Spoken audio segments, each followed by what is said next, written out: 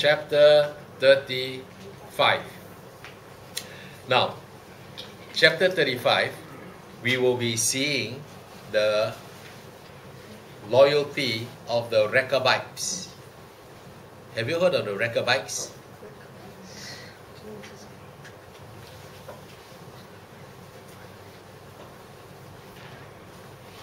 One Saturday, quite a few months ago, Elder Berlin preached on the Rechabites. Did, any, did anyone remember? Now, I didn't ask, were you there? Because some people are there but don't remember. but do you remember? Okay. Now, who are the Rechabites? They are a nomadic tribe.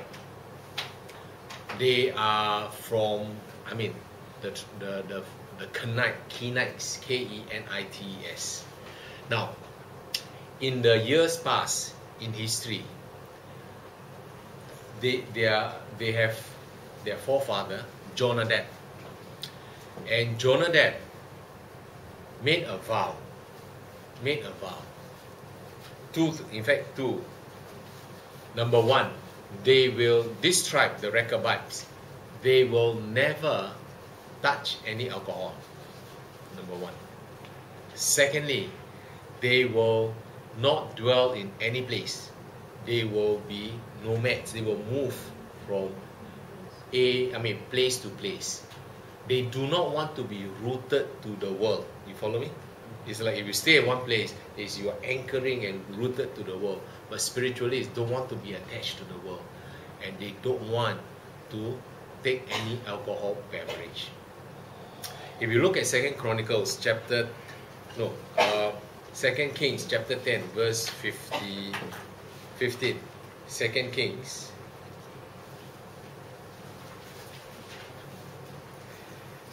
Chapter 10 verse 15.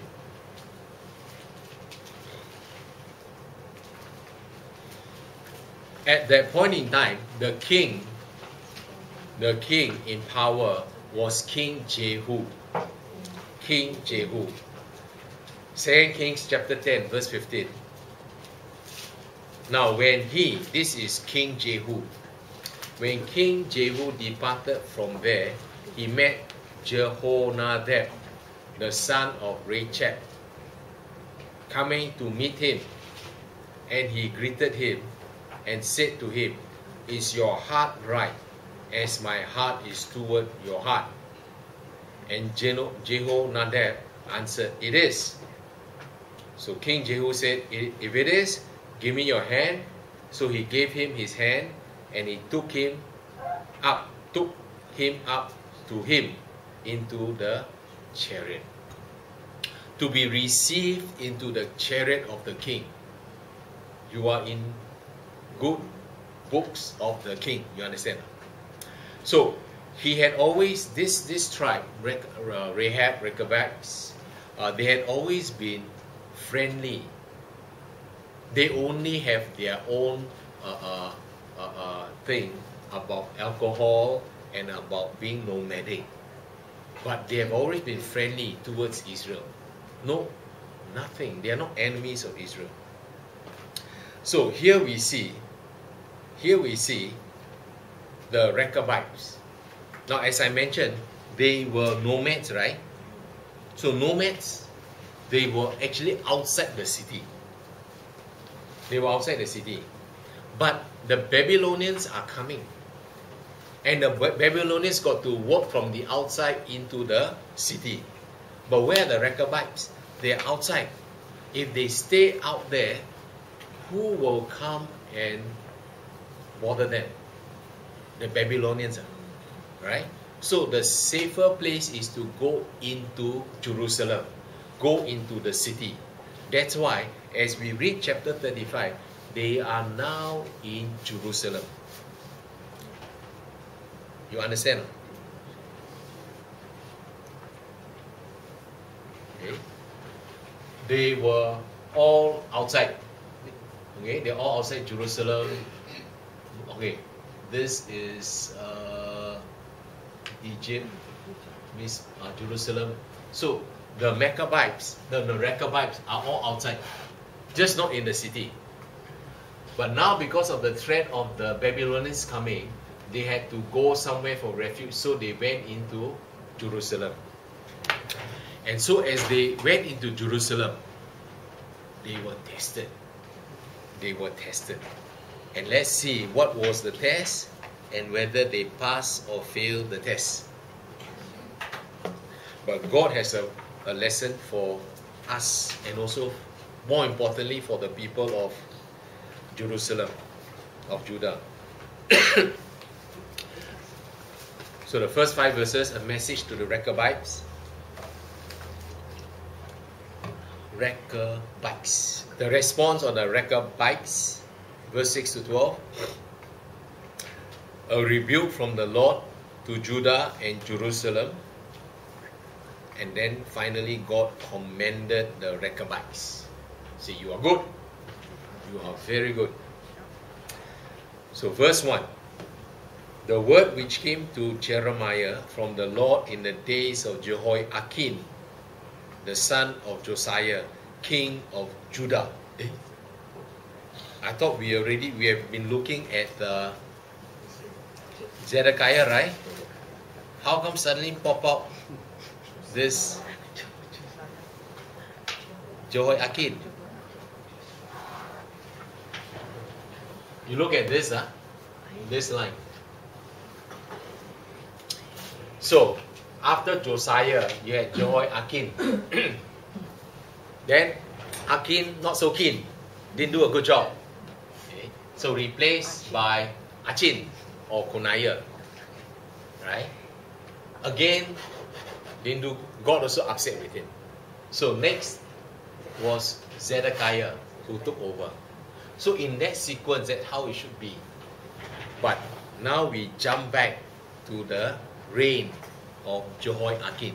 So you know, this book is not written in chronological order, but the events are recorded as they are for our learning. So, just jump back a few years, quite a few years.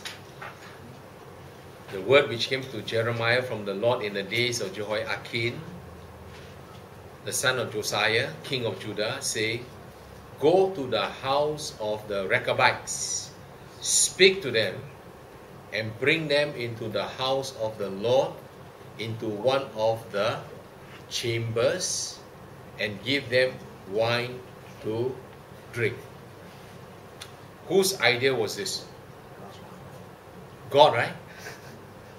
Eh, did God forget that the Rechabites had already made a vow that they are not supposed to drink alcohol? Did God forget? No. But God wanted them to be put through a test for them to pass. But it is also a lesson for the people of Judah. So, bring them into the house of the Lord, into one of the chambers. This, for, usually they use it for storage and so on. And give them wine to drink. That is like hospitality. Then I took Zah Zanaiah, the son of Jeremiah. Now, this is not the prophet Jeremiah, this is another. The son of Habazziniah, his brothers, and all his sons, and the whole house of the Rechabites. And I brought them into the house of the Lord, into the chamber of the sons of Hanan, the son of Igla Liar, a man of God, which was by the chamber of the princes, above the chamber of Maaseiah, the son of Shallum, the keeper of the door.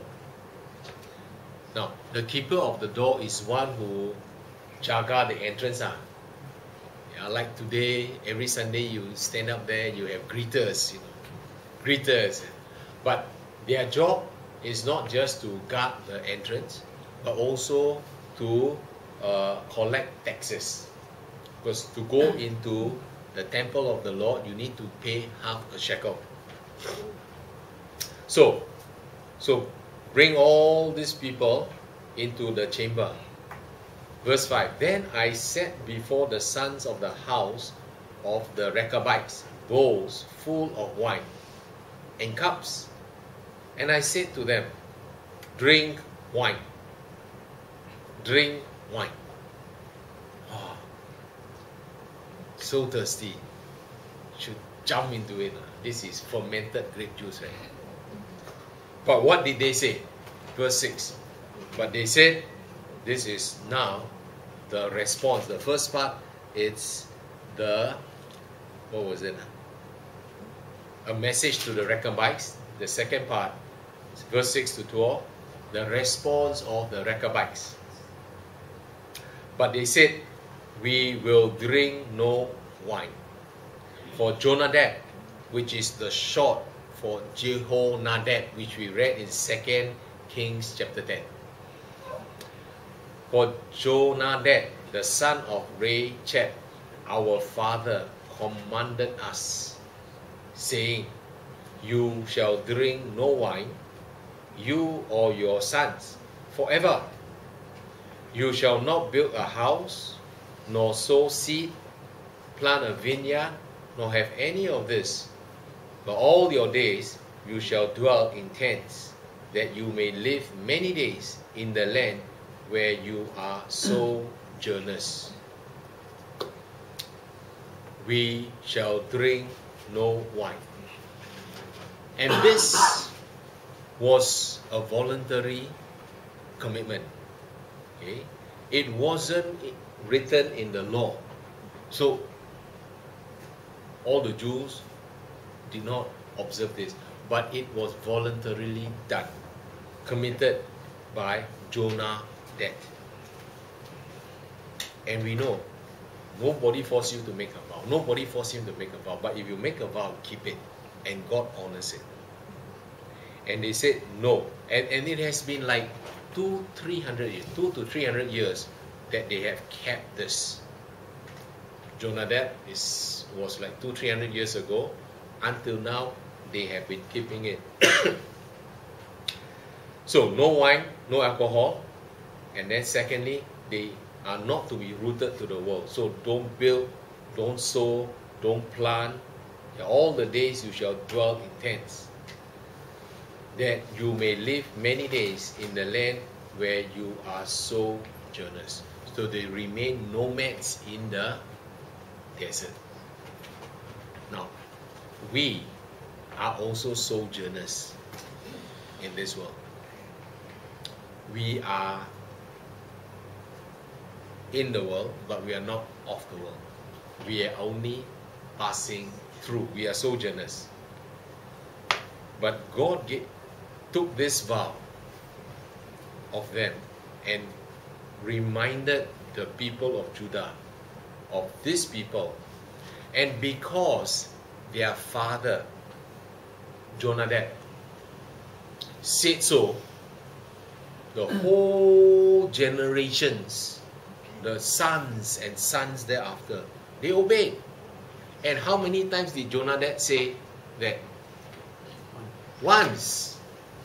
Jonadab only need to issue the commandment once. And then the generations following until here, they obey. You know why God is bringing this up? Why? Because God, their father, father of the nation of Israel, of Judah, had said so many times to the children of Israel Obey and you will live. Disobey, you will die. No idolatry. You understand? All the things I told you, I said so many times. And I sent so many prophets. They rise early and then they come and tell you consistently, persistently. But you rejected them. Look at these people. Their father, earthly father, only told them once and they obeyed. I'm your heavenly father. I told you so many times and you go up and you don't listen. You understand? This is the lesson of chapter 35. Okay? And we can go for tea break. Okay, we continue. but I, I think giving you the context is easier for you to follow. Okay, verse 8. Thus, this is still the Rechabites speaking. Thus, we have obeyed the voice of Jonadab, the son of Rechab, our father, our earthly father, in all that he charged us to drink no wine all our days, we, our wives, our sons, and our daughters, nor to build ourselves houses to dwell in, nor do we have vineyard, field, or sea. But we have dwelt in tents and have obeyed and done according to all that Jonadab our father commanded us. But it came to us, it came to pass. Now he's giving the reason why we are in the city. Normally we won't be in the city. But it came to pass when Nebuchadnezzar, king of Babylon, came up into the land that we said, Come, let us go to Jerusalem. And so when you go to Jerusalem, you have to go up, right? Mm-hmm. So come, let us go to Jerusalem for fear of the army of the Chaldeans, the Babylonians, and for fear of the army of the Syrians. So we dwell at Jerusalem. So we are just refugees, temporary. And once the trek is over, we will move on. Because they are just city dwellers out of necessity, not of choice. And that's what they are. And God, God liked them. God loved them for their obedience. Verse 12. Then came the word of the Lord to Jeremiah, saying, Now it is what? Scolding time rebuke, a rebuke from the Lord unto the people of Judah. Thus says the Lord of hosts, the God of Israel Go and tell the men of Judah and the inhabitants of Jerusalem Will you not receive instruction to obey my words? Says the Lord. The words of Jonadab, the son of Rechab, which he commanded his sons not to drink wine, are performed. For to this day they drink none, and obey their father's commandment. But, but, although I are your God, are your heavenly Father, but although I have spoken to you, rising early and speaking, you did not obey me. And so can you see the disappointment in God? His heart that is being broken. I have spoken to you. Rising early and speaking means consistently, persistently, yet you did not obey. I have also sent to you all my servants, the prophets, rising up early and sending them, saying, Turn now everyone from his evil way, amend your doings, and do not go after other gods to serve them. Then you will dwell in the land which I have given you and your fathers. But you have not inclined your ear nor obeyed me. Surely the sons of Jonadab, the son of Rechab, have performed the commandment of their father which he commanded them. But this people has not obeyed me. Verse 17 Therefore, thus says the Lord God of hosts, the God of Israel Behold, I will bring on Judah and on all the inhabitants of Jerusalem all the doom that I have pronounced against them, because I have spoken to them but they have not heard. And I have called to them, but they have not answered. And so, what is waiting for them hereafter judgment. Only thing that remains for them now is judgment. They have not believed God, they have not obeyed God, they have not repented. And that is sad. But God has a good word for those who obey Him. And this, the last part, is the commendation of the Rechabites, the last two verses. And Jeremiah said to the house of the Rechabites, Thus says the Lord of hosts, the God of Israel, because you have obeyed the commandment of Jonadab your father, and kept all his precepts, and done according to all that he commanded you. Therefore, thus says the Lord of hosts, the God of Israel, Jonadab, the son of Rechab, shall not lack a man to stand before me forever. There shall not be lacking of a man from the tribe of Rechabite who will stand before God to what? To serve Him. There will always be a Rechabite who will be serving God forever. so there is commendation, there is reward for those who obey God. So that's why Joshua said, Choose you this day whom you want to serve. Choose. You you have a choice. To obey or disobey. So that is chapter 35.